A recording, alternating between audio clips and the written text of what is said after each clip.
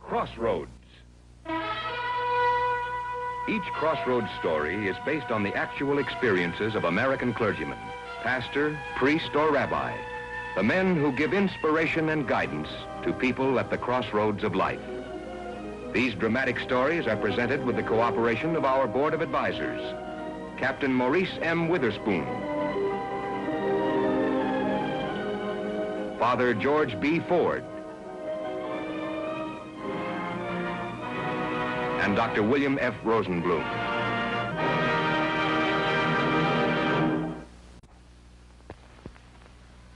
Central Hospital, a house of birth and a house of death, complete with dedicated men in white and angels of mercy, where both rich and poor arrive, some through the front door and others by ambulance in the dead of night to a rear entrance marked emergency.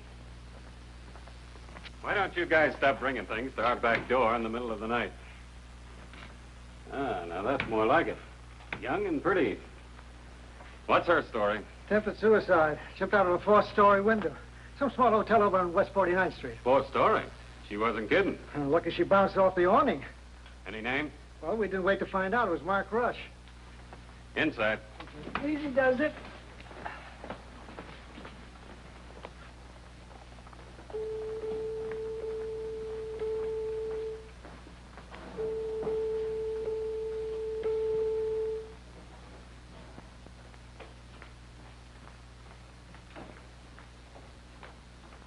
Chaplain, Chaplain Ferris.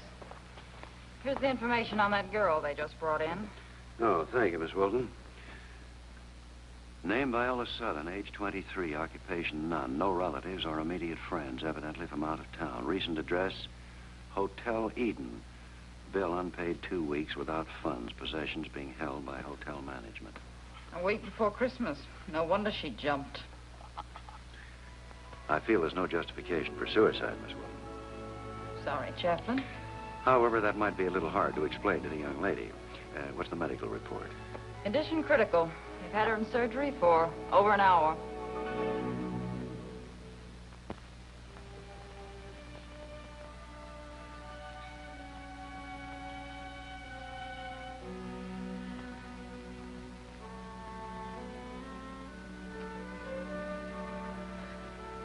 There, it's all right. You're safe now. Central Hospital and in good hands. Hospital? Yes, you've had a bad accident. But you're going to recover. Accident. I jumped. I jumped out the window. Oh, But you're all right now. I'm not dead. You're very much alive, my dear. In fact, I wouldn't be surprised if you're not well enough to be home for Christmas. Home.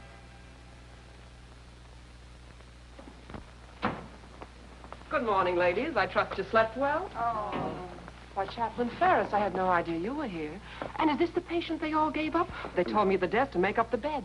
In fact, they're wheeling a patient in from emergency, I believe. Oh, I'll have to report this. Miss Schmidt, please don't report anything till you locate Dr. Rutledge. Dr. Rutledge? Yes, I'm not sure if he's on duty this morning. He was here most of the night. But page him, please, and hurry.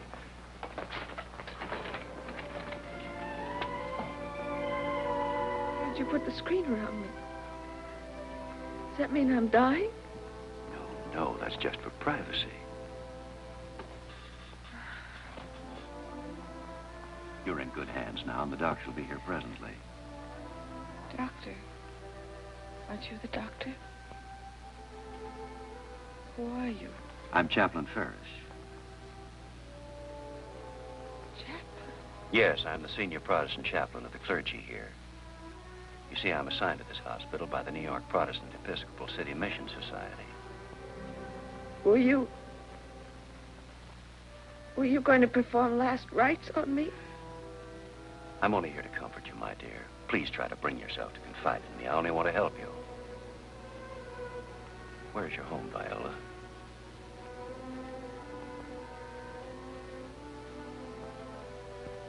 Your name is Viola, isn't it?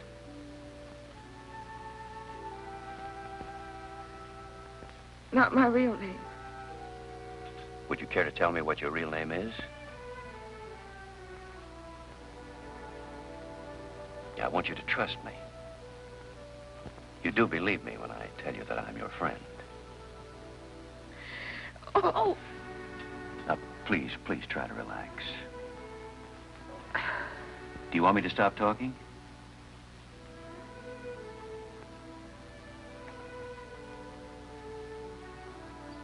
You must believe God is your friend, my dear. Never doubt that.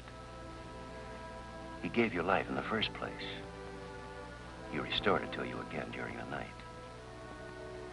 What was it that made you feel you could solve your problem by jumping out that window? I couldn't stand it any longer. I was alone, al- al- always alone. Nobody to talk to, no one to listen. Phone never rang, no letter, no telegrams. And then the rattling of the pipes would begin. All day long I'd hear it, louder and louder, until I couldn't stand it any longer. Was that why you jumped out the window, Viola? Yes, yes, I, I couldn't stand it any longer. I... You want to know the real reason why I jumped? Please don't call me Viola. I can't stand the name. That's why I jumped. Because I wanted to kill Viola Southern.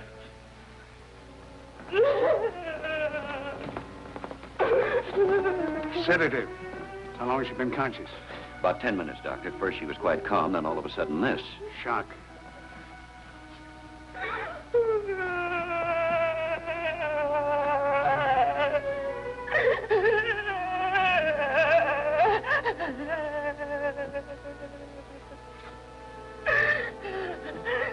Not to be unexpected after the ordeal she's been through. Pulse, fairly normal. Respiration, okay. Color, good. I think she'll pull through physically, despite the damage to her body. Doctor, what about the damage to her mind? Ah, that's a horse of another color. Call Dr. Ashley in psychiatry. Of course, if you don't help me, I can't help you. Then how is it you don't know my real name? That will come later. Your name we don't need at present. The main thing now is to help you.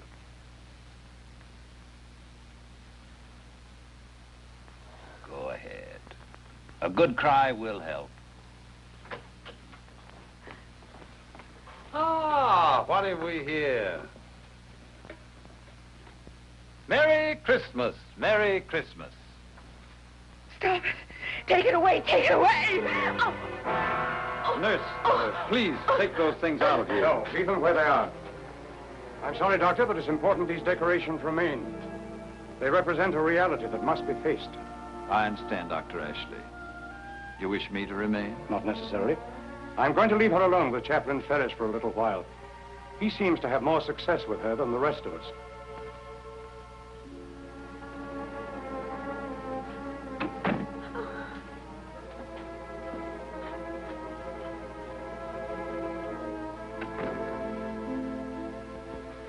What's all this to do about Christmas? Would you care to talk about it? You are my friend, aren't you? I couldn't tell the others, but, but I'll tell you. I hope you won't tell the doctors. Promise. It'll be all right.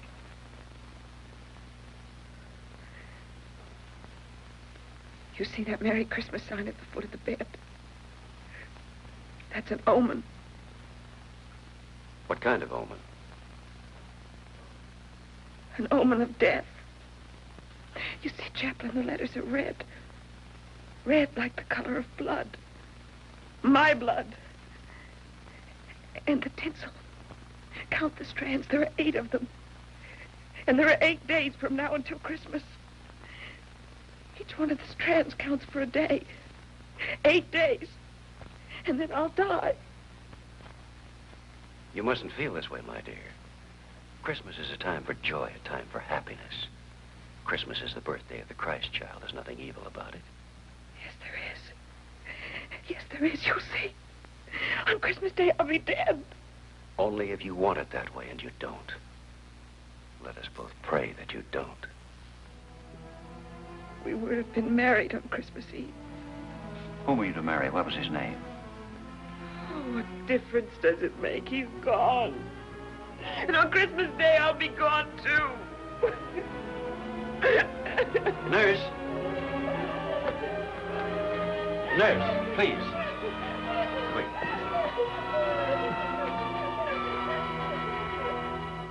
I think Dr. Ashley will bear me out that, medically speaking, she could actually will physical harm to herself. True, gentlemen. If the girl feels this impending doom strongly enough, it's quite possible that Christmas Day would mean her death. Then what's the solution? Well, so far, you have her confidence, Chaplain Ferris. You must try to get her away from this belief of impending danger. There are only eight days until Christmas, and once we get her past that date, her fear will diminish, and I think we can straighten her out. But right now, you're the only one who can help her. I have another solution, if it can be done. Find her boyfriend. Hmm. Where does a good sleuth begin his search? Oh, yes. At the scene of the crime.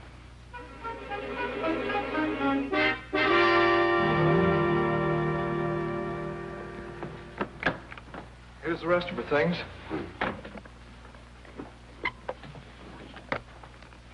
Look, here's a makeup kit. Was she in the theater, an actress? Probably. That's what they usually say they are. Girl in the hotel, an actress or a model. I could check with Actors Equity. That might be a lead. What's this? Looks like a Christmas present. Merry Christmas to David with all my love. Christmas present she can afford, but not a hotel bill. These young twerps. This is signed Barbara. Did you ever hear Viola Southern referred to as Barbara? Oh, but that doesn't prove anything. They can change their names just as fast as they can change the color of their hair. Might I see your register? I'd like to compare the signatures. Uh, She moved in here about six weeks ago. Oh, yeah. November 2nd, Viola Southern, Batavia, New York. Look, the signatures are identical. And Viola Southern is Barbara. Barbara who? Here, Mr. Cobb. Well, here's a list of her telephone calls. Nine dollars and sixty cents worth. Are there any long-distance calls on there to Batavia, New York? Mm, all, all locals. Now, here's one number that reoccurs quite a bit. Bryant 94589. Could we ask information for the address of that number?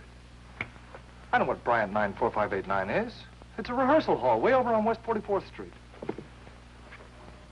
Take five, girls. And I mean five.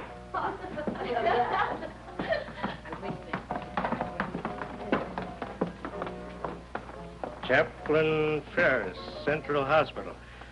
What is this, some charity? In a way.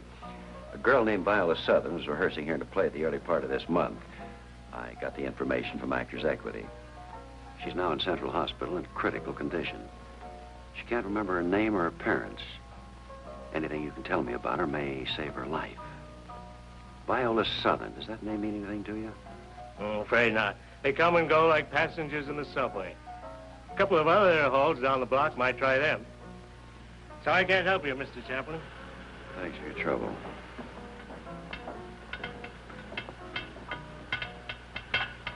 Pipes, the rattling steam pipes. Please, I'm sure this is the right rehearsal hall. You must keep a list of the various casts rehearsing here. Please look back in your records. Early in December, the play was called From Now Till Dawn. The girl's name was Viola Southern. Viola Southern. Don't yell, I ain't deaf. Oh, Viola Southern. Ah, that rings a bell. Youngster about 23. Dark red hair, big eyes. Kind of sad looking. I remember I was kidding her one day about her name. That ain't your real name, I bet, I said. I bet that you took Viola from Viola Allen and Southern from Sothern and Marlowe. By golly, Pops, you hit it right, she says. Except that I took Viola from 12th Night and, and Southern from the Southern Pacific Railroad. oh, wait a minute. There's something here. She left here a couple of days later. Oh, here it is. It's the part she was rehearsing. There's a name on it. What does it say? Viola Southern. Oh, no, on the other side, where she draw the picture. Barbara Moore. And that's her picture. Where did you get this? And she come running down the stairs crying like a baby. She threw this in at me, and she says, keep it. I won't be needing it anymore. Then she slams out of that door, sobbing like her heart was broke. Did you ever find out what happened? Oh, that's the last I ever see of her. My oldest Southern. she certainly done some acting that day. You mind if I keep this? well, I guess it'll be all right.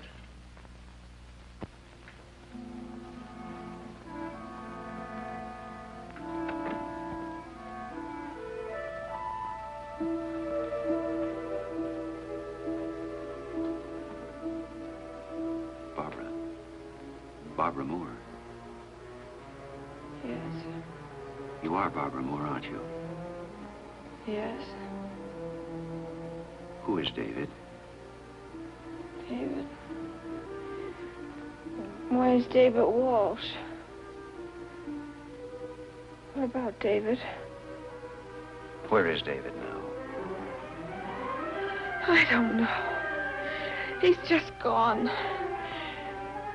I couldn't go then, but he left anyway. So that's what you quarreled about. He wanted you to go with him, but you were rehearsing in a play. Here's the part you were going to play. The doorman gave it to me. Where did David go? I don't know what you're talking about. David always called you Barbara, didn't he? After the quarrel and after he went away without you, you began to hate the name of Viola Southern. You wished to destroy her. Yes. Yes, that's why I jumped out the window. I failed that time. But look, there are only two strands left. Only two days before Christmas. Ah.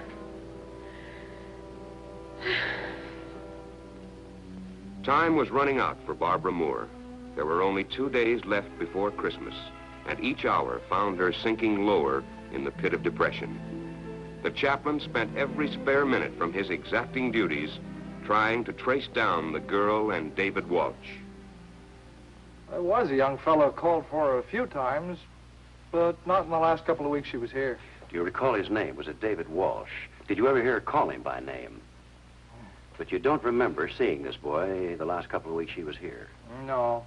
No, she spent most of her time in her room. When she did go out, she'd always come back alone. Make a beeline for the desk and ask if there was any mail, and there never was. And she'd stand there for a minute like she was going to bawl, and then head for the elevator. Never bothered to go looking for a job, probably waiting for money from home. Well, thank you, gentlemen, for giving me your time. If any mail or calls come for the girl in the next couple of days, would you be good enough to call me at Central Hospital? Oh, and by the way, her real name is Barbara Moore. Hey, wait a minute. We're holding a telegram for a Barbara Moore. Yeah, here it is. Barbara Moore. Came in day before yesterday. No, no, wait now, wait now. That's against the law. I'll take the responsibility. And a letter came to this Barbara Moore two weeks ago.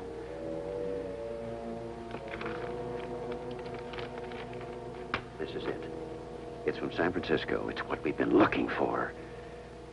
No answer to my letter. Still hoping you can get here by Christmas Eve. All arrangements made for our wedding is planned. We'll wire money for transportation and expenses as soon as I hear from you. I love you. Hurry. David.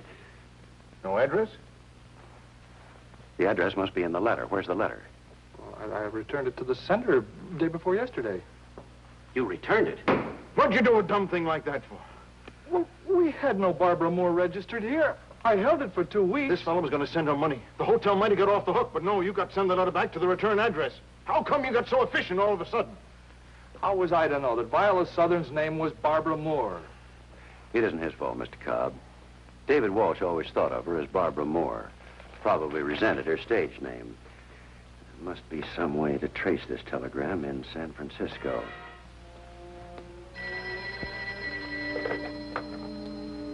It's for you, Chaplain. San Francisco calling. Yes, Chaplain Ferris speaking. We have located your party. Hang on, please. Doctor, they found him. How in the world did they find him? No address. Well, on every telegram, there's a code number which designates the particular area in the city from which the telegram was sent. I had the San Francisco operator check all the hotels in that area, and at last they found that David Walsh registered. Hello, Chaplain Ferris. Yes, is this David? This is David Walsh in San Francisco. I got your message. You said it was urgent. It is, David, most urgent. It's Barbara. Barbara? What about her? She's not... No, but it's important you get here as quickly as possible. She's in Central Hospital. Hospital? So that's why she didn't answer my letter. She never got your letter, David. You addressed it to Barbara Moore. She was registered as Viola Southern. You alone can save her life. I'll take the first plane I can get space on. Bye. Dr. Ashley, what are we going to do with 608? How's that? Why does that frustrated Sarah Bernhardt rate a single room? All she does is lie there and mumble about how she'll be dead by Christmas. That isn't too long to wait, is it? This girl is in a critical condition. She came in here alone and friendless with a tag on her. She could very easily have been shoved into a corner like an old piece of luggage in a check room. Those things often happen in a large institution. Nobody's fault. Just too many patients for proper personal attention. Luckily for this girl, she found a friend. I thought that plane was due at LaGuardia at 5 o'clock. It's past 7 now. I know. I just checked with the airport again. Still delayed due to the storm. Last report, they were set down in Chicago. Chicago? But that's three hours flight in normal weather. Time of arrival now unknown. They hoped it would be in before midnight.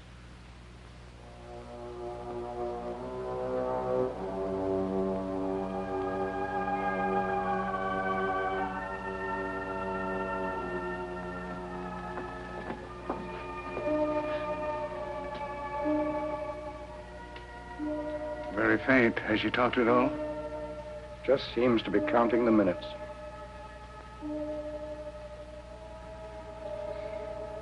What time is it?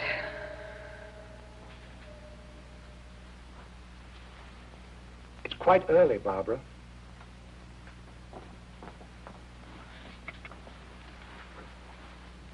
No, please. Please just let me alone. Just let me alone.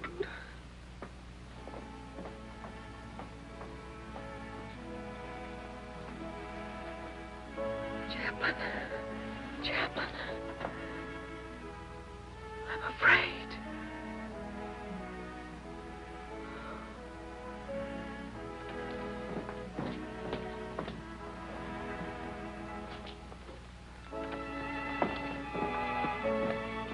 David? Yes.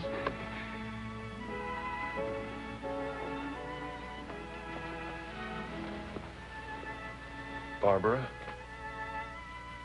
Barbara?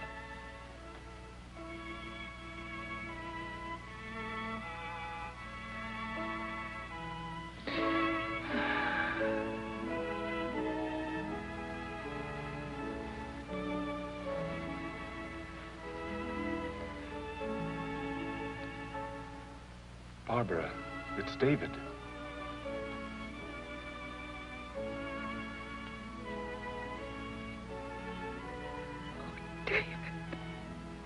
David's flown all the way from San Francisco just to keep his Christmas date with you. How could I have ever thought he wouldn't? Oh, Chaplain, I've been so wrong. So very wrong.